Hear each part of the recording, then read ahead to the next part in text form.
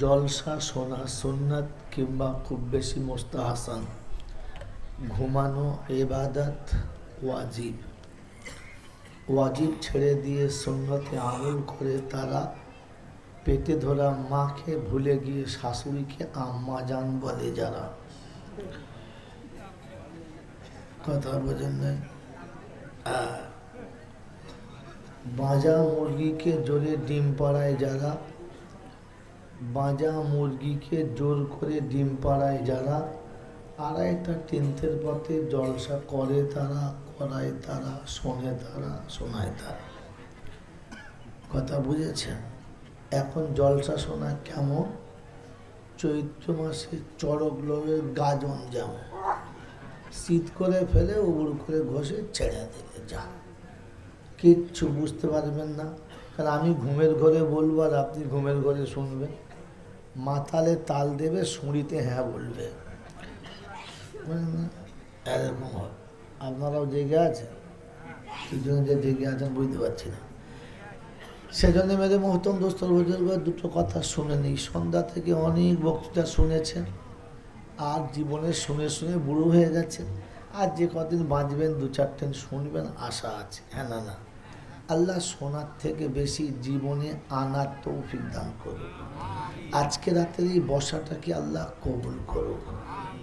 যিনি আমাদেরকে শয়তানের হাত থেকে বাঁচিয়ে তার রহমতের ছত্র ছায়াতে এনেছেন ফেরেস্তাদের সাথে বসিয়েছেন আর আপনার আমার মতো জঘন্য পাপি এই নেক মজলিসে বসার সুযোগ পেয়েছে, সদ্ব্যবহার করতে পেরেছে। এজন্যে মুক্ত কণ্ঠে কৃতজ্ঞতা স্বীকার করে বলি, আলহামদুলিল্লাহ। ভাই, আমি যে কোটা কথা বলব, বুঝে বলার চেষ্টা করব। আপনি শুনে বোঝার চেষ্টা করবেন আর বুঝে আমল করবেন। কি বললাম? বুঝে বলব, আপনি শুনে বুঝবেন আর ফের বুঝে আমল করবেন। আনারির মতো লাফাবেন না। তবে আমার এবারে দাওয়াত হয়েছে আর বছর আর দাওয়াত হবে না। এটা আমি বুঝে জলসা করতে শুরু করছি, কারণ এরা আমাকে দাওয়াত আর করবে না। কারণ সত্যটা বললে আপনি কিন্তু শান্তি পাবেন না। আর সতী নারী সমাজে সবার কাছে প্রিয়, যদি বলেন, বাড়ির বউ যদি সতী হয় তো দেওরের কাছে ভালোবাসার হতে পারবে না। কারণ অর্ধেক বুকের কাপড় সরিয়ে না দিলে দেওর ভালো তাহলে সতীত্ব আর নন্দায়ের পাশে বসে দুলাভাই বলে গলা জড়িয়ে না ধরলে সেলোজ ভালো। হবে। আচ্ছা আমার জন্যই তোর মাইকে করতে জোর হবে? দাঁড়া, বুড়ো মালটাকে পাম দিতে হবে তো? শরীর ভালো না। তাহলে সতী নারী সবার কাছে ভালো হতে সত্য কথা সবার ভালো লাগে না। তো আমি যতবার সোহান আল্লাহ বলব, আপনারা বলবেন তো? আমি আলহামদুলিল্লাহ বলতে বললে বলবেন তো? তাহলে আপনারা কি নাবালক না দুধের সন্তান? বলুন। বলে বলেন। তো সাবার লোককে কি বলাতে হয় না নিজে বলে? সন্ধ্যা থেকে নিজে বলেছেন না মৌলবী জবাইয়ের পাম দিয়ে বলিয়েছে। সালা একজনও বলে না। ইনশাল্লাহ বলুন ছাগল বক্তা যতবার বলে ইনশাল্লাহ বলুন ইনশাল্লাহ। আলহামদুলিল্লাহ বলুন আলহামদুলিল্লাহ। আপনি কখন বলেছেন? তার মানে আপনি এখনও নাবালক আছেন। ছি ছি ছি ছি ছি, ছি। আপনার শাশুড়ি কি করে আপনাকে মেয়ে দিয়েছে আমি বুঝতে পারি না। হ্যাঁ? তাহলে এই সাবালক মেয়েটা, সাবালিকা মেয়েটাকে নাবালকের বলায় দিলে কি করে? আরে সাবালক তো বুঝে বলে, নাবালককে বলাতে হয়। আপনাদের তো সেই চল্লিশ বছর থেকে বক্তারা দম দেন শোনা বলুন। তার মানে এ দুধের সন্তান। নাবালকের থেকেও খারাপ। ছে ছে ছে। আশ্চর্য। তাহলে এতদিন শুনে লস হয়েছে না লাভ হয়েছে? লসই হয়েছে। কারণ এখনও পর্যন্ত আপনি কোথায় কি বলতে হবে তাই শিখতে পারেন না হায় খোদা, এ মাল কি হয় সোজা? কবরে ছাড়া সোজা হবে কি বুঝলে আল্লাহ আমাদেরকে সোজা হওয়ার তৌফিক দান আবারও বলছি, কথা ভাববেন, বুঝবেন আর ভেবে আমল কর, করবেন ইনশাল্লাহ আর ভেবে আমল করবেন না। আপনি যে কথা বুঝবেন, সেই বিষয়ে ভাববেন। আর আমল করার আগে ওলামাদের কাছে জানবেন, তবে আমল করবেন। তা না হলে এমন বাঁশটি যাবে, কোনো শালা বাঁচাতে পারবে না। কথা বুঝেছেন? এবারে ভাবেন। মেরে মহতুম দোস্তর বুজুর্গ আলহামদুলিল্লাহ। সত্যি প্রশংসার একমাত্র মালিক হলো আল্লাহ। কেন তিনি প্রশংসার মালিক? কি কারণে? জানি না। শুধু বলছে আমরা বলতে বলে, তাই বলি। আপনি বলতে বলছেন, আমিও বলব। এটা লাভ হলো না। মেরে মোহতম দুস্তর বুজুর্গ আল্লাহওয়ালা ভাইরা শ্বশুরবাড়ি গেছেন, কোনো ফল আপনাকে দিয়েছে, খাচ্ছেন। কীরকম দুলা ভাই দারুণ মজা। দারুণ। বলছে, বাবা, কি খাচ্ছ? তা বলতে পারব না তবে দারুণ মজা। তো তখন পাড়ার মেয়েরা বলেছে কি, কী রে, পাগলা না কি রে? কথা বোঝেন না হ্যাঁ। আগে জিনিসটা কি জানতে হবে? আমি যে বললাম, প্রশংসার একমাত্র মালিক আল্লাহ। কারণ কি? তিনি আমাকে মানুষ করেছেন। কি করেছেন? যদি বলেন এবারে, কি করেছেন? মানুষ করেছেন। তিনি মানুষ করেছেন। আর ফিরে যাওয়ার সময় কি হয়ে যেতে বলেছেন? যদি বলেন। কে বলেছে আপনাকে? পিছনে একজন বলেছে, তাই বলেছে। শুনে মল্লা হবেন না, জেনে হবেন। বলেন, তিনি আমাদেরকে মানুষ করেছেন। আর ফিরে যাবার সময় কি হয়ে যেতে বলেছেন? মানুষ হয়ে যেতে বলেছেন।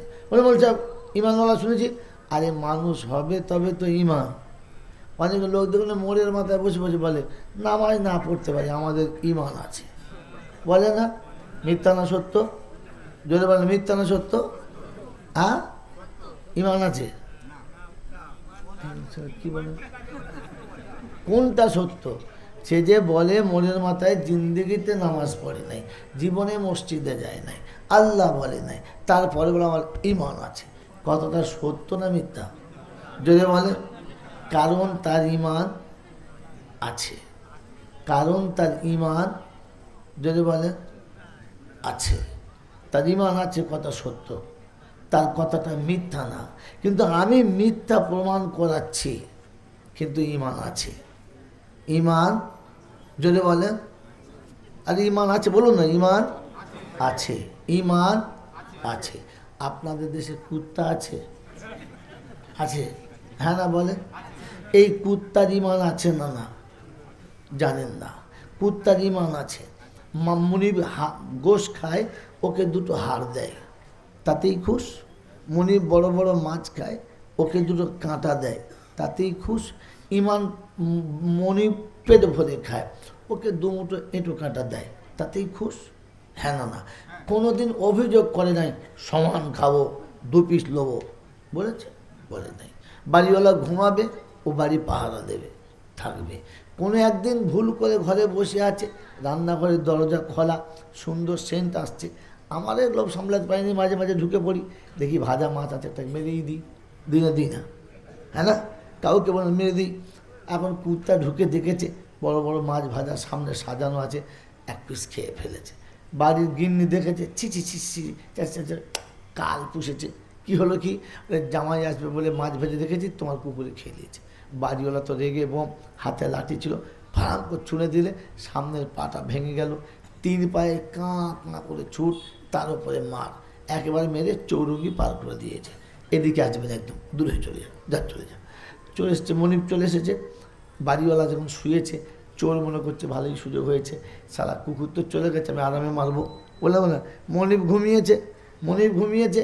ও কুকুর আরও পাঁচটা কুকুরের কাছে মারধর খেয়ে একেবারে ঠ্যাং ভাঙা পায়ে এসে দরজার কাছে আড়ালে চুপ করে শুয়ে আছে। চোর তো জানে না, চোর পাঁচির টোপকে যেমনি ধপ করে পড়েছে, ও তিন ঠ্যাঙে উঠে তো মানে লাপানি কাকে বলে দেখে, মনে হচ্ছে জান খেয়ে পড়বে।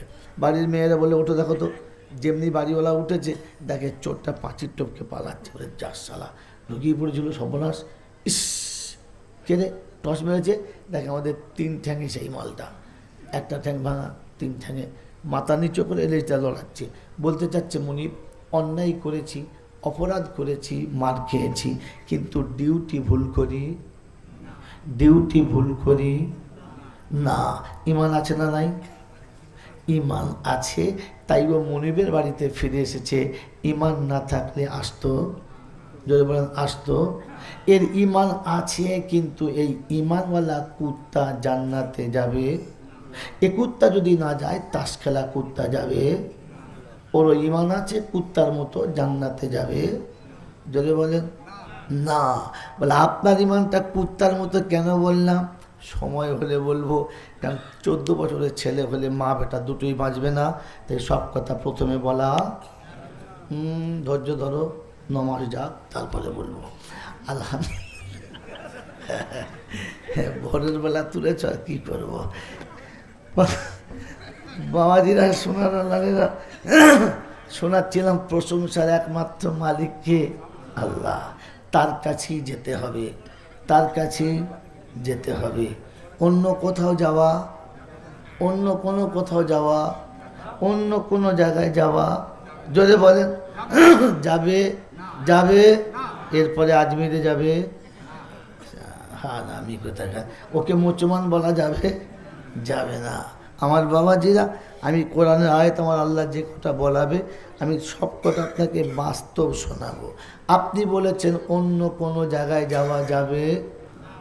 অন্য কোনো জায়গায় যাওয়া যাবে এরপরে হিজলি যাওয়া যাবে যদি বলে এরপরে হিজলি গেলে মোচমান বলা যাবে যাবে না। আপনার গ্রামের একজন বিশিষ্ট মানুষের নাম বলুন এলাকার বিশিষ্ট মানুষের নাম বলুন। বিশিষ্ট মানুষ? আপনার নাম বলুন। শেখ মোহন আব্দুল। হ্যাঁ আমার মজিদ ভাই। খুব ভালো মানুষ। বহুদিন থেকে মোটামুটি চিনি ইনশাল্লাহ তো আব্দুল মজিদ ভাইয়ের একটা ছেলে আছে, চব্বিশ থেকে ছাব্বিশ বছর বয়স, সুঠাম চেহারা, সুস্বাস্থ্য, হাইট ভালো।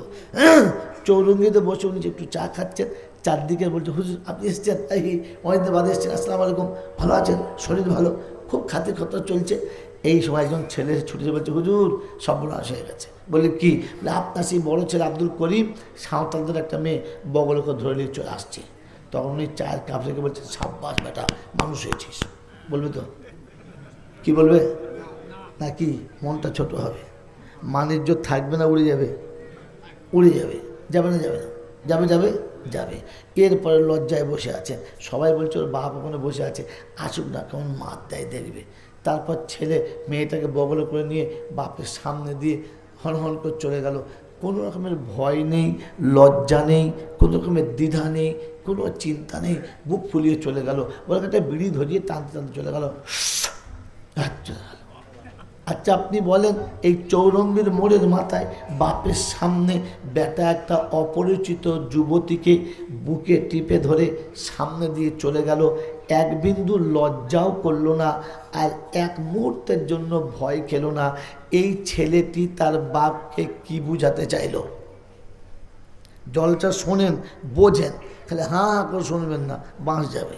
বলেন, কি বুঝাতে চাইলো? এই ছেলেটি অল্প করে দেবে, ওই ছেলেটি তার বাপকে কি বুঝাতে চাইলো?